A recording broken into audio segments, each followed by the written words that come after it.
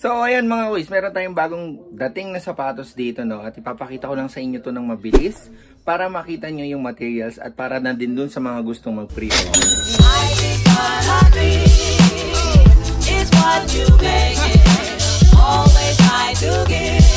Mainit dito sa aking kwarto mga kuys. Pero ayun, meron tayong i-unbox na sapatos ngayon. Ito nga yung Leaning Vision 8. Pero mga kuys, gusto ko muna magpasalamat sa inyo, no? At i-congratulate din ang Denver Nuggets para sa kanilang panalo sa final. Although Miami Heat talaga tayo mga kuys. Pero yun nga, sobrang solid kasi both deserving naman sila, 'di ba? Lalong-lalo na ang Denver kasi talagang pinaghandaan nila yung moment na yun. Ilang taon din silang nagtatry at ganun din naman ang Miami kaso Denver is the better team. And speaking of Denver mga kuys, last week 'di ba meron tayong vlog about sa 361 degrees kung saan si Aaron Gordon yung kanilang athlete, no? Para sa, sa brand na yon At binigyan nga nila tayo ng pair para i-promote at i-share sa inyo mga kuys yung Big 3 for quick na sapatos. Although hindi yun yung ginagamit niya mga kuys, no? Pero gusto lang nating i-share sa inyo na merong ganong brand na nag exist At napakaganda dahil yun nga, ginagamit na din siya sa NBA. Kaya congratulations sa 361 Degrees brand mga kuys. Kasi champion brand na sila. Katulad ng Anta, Leaning, nandyan na din ang 361. Kitang-kita nyo naman yung performance ni Aaron Gordon kung nanood kayo ng NBA Finals. Kumbaga, isa siya talaga sa X-Factor nung team na yon. Anyways, hindi naman tayo mag-unbox ng 361 degrees na sapatos ngayon. Ang i-unbox nga natin is itong Leaning Vision 8. Ayan. No? Meron tayong colorway dito na moment colorway kung tama man ako sa aking nakita sa online, sa Google mo quiz. 'Di ba? GMK, Google mo quiz. So, ayan, hindi ko na patatagalin mga quiz. I-unbox na natin 'to ng mabilis. Bale, ito yung sapatos. Ay, Bale, ito yung box. ito yung box niya. Bale, regular brown box lang siya mga quiz. Makikita niyo yung number 8. Kasi ito na yung 8th edition ng Fission under Dwayne Wade or D Wade under Way of Wade series, no? Or Way of Wade line, mga boys. So, ayan. Yan yung box niya. I-share ko na sa inyo yung mismong sapatos. So, ito yung mismong sapatos. Ayan, mukha siyang mabigat, no? Sa likod. Kasi merong ang extra layer of rubber or plastic dyan. Tapos, ito naman yung sa harap. Ayan, mga boys. ito naman yung mid medial side niya or mid part ng sapatos. Tapos makikita niyo sa gilid, ayan, merong logo ng leaning tapos may nakasulat. So ngayon, umpisa natin sa ibabaw or sa uppers. Sa uppers niya mga quiz, makikita niyo na may butas-butas at medyo manipis yung material dahil lightweight material at lightweight talaga tong sapatos na to. Mukha siyang mabigat dahil dito sa dalawang to. Mga boys, napakagaan ng sapatos, napaka lightweight ng material.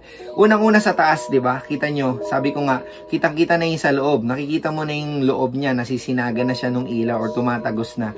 Imagine mo na lang kapag mainit 'yung paa mo, dahil sa sobrang tagal mo na naglalaro, hindi mo mararamdaman yung init na usual na nararamdaman mo sa ibang brand dahil ang daming pwedeng labasan or singawan nung init na yon.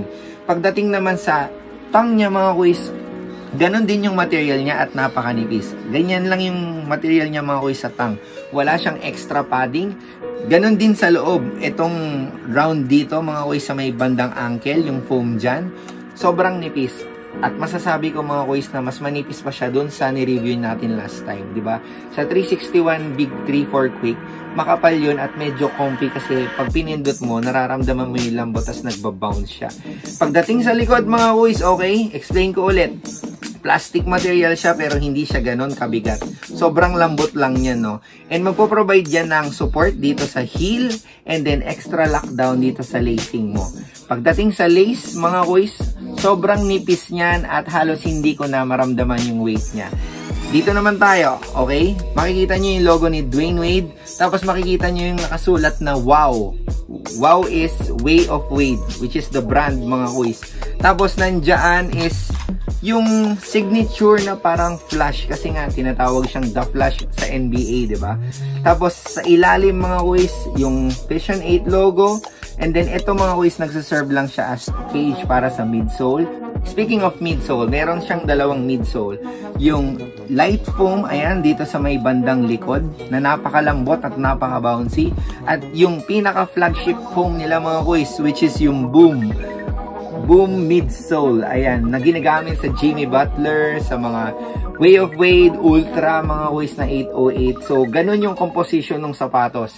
Imagine mo, magaan siya tapos ganun pa ka-comfy ka-bounce. At hindi lang yon mga kuys, na bouncy siya. Yung traction niya din mga kuys is napaka tinde. Kasi based dun sa mga napapanood ko, no, sa kanilang advertisement, eh, tinatry din to for outdoors or ginagamit din siya for outdoors. Napaka tibay daw ng outsole nito at ang tagal maubos, hindi katulad ng ibang sapatos. So speaking of that mga kuys, imagine mo na lang kapag ginamit mo siya sa indoor lang, no? Di mas tatagal tong sapatos na to at mas i-enjoy mo yung pera mo or masusulit mo yung pera mo. Kaya naman sa mga gustong bumili nitong Leaning Vision 8, meron pa yung apat na iba't ibang kulay na available at pwede nyong i-message yung quiz kicks para mag-check ng size kung available. At yun nga lang mga quiz, meron talagang waiting time. 1 to 2 weeks talaga kasi yun yung pinaka-safe na time frame para ma-deliver namin sa inyo yung sapatos na in-order nyo sa quiz kicks. So, ayan yung mabilis nating unboxing at magpo-provide ako sa inyo ng iba't ibang angle pa ng sapatos bago matapos tong video na to. And maraming salamat ulit sa mga sumuporta sa akin, sa mga nanood nung nakaraang video, nag-react at nag-share. And magkita-kita tayo sa susunod na unboxing mga kuys. At huwag niyong kalimutang isubscribe tong channel na to at i-like tong video na to. Kung nagustuhan mo yung maikling unboxing natin ngayong araw at gusto mo pang masundan. Paalam muna mga kuys, ingat kayo palagi.